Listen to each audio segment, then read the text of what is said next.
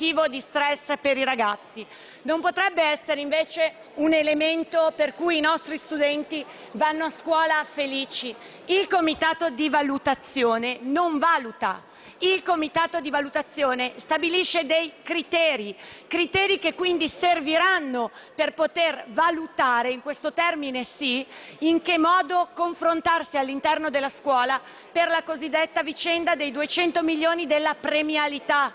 Qui non stiamo parlando della valutazione dei docenti, ma stiamo parlando di un sistema che ogni scuola attuerà sempre nell'ottica dell'autonomia e della libertà e che farà in modo davvero di trovare quelle che possono essere le metodologie migliori per segnalare il lavoro ottimo fatto dai docenti che spesso si trovano in trincea e in barricata. Questo è il significato del successo formativo, questo è il significato di una scuola che funziona.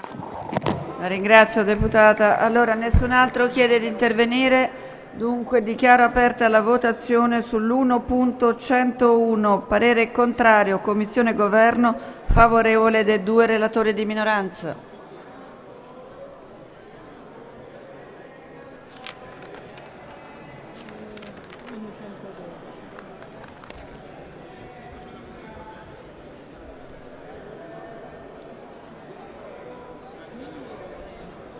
Migliore?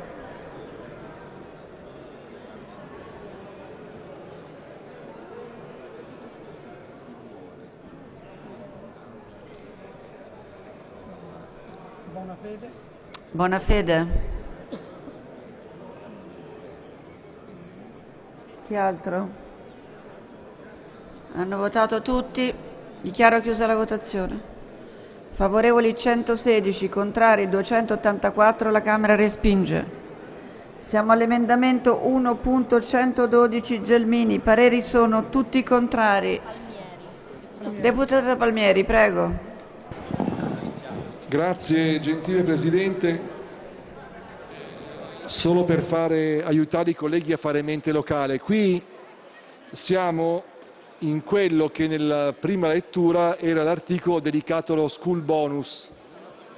E allora, siccome noi, come ho detto in quella occasione nel primo passaggio qui alla Camera, siamo convintamente favorevoli all'implementazione di questa norma, che è una norma a nostro avviso di sussidiarietà vera, che coinvolge la comunità e coinvolge chi può dare di più a dare nei confronti della propria scuola, per questo motivo in questo emendamento noi votiamo per, invitiamo a votare e votiamo per sopprimere il tetto dei 100.000 euro che è stato introdotto al Senato. Grazie. La ringrazio. Deputato Palmieri.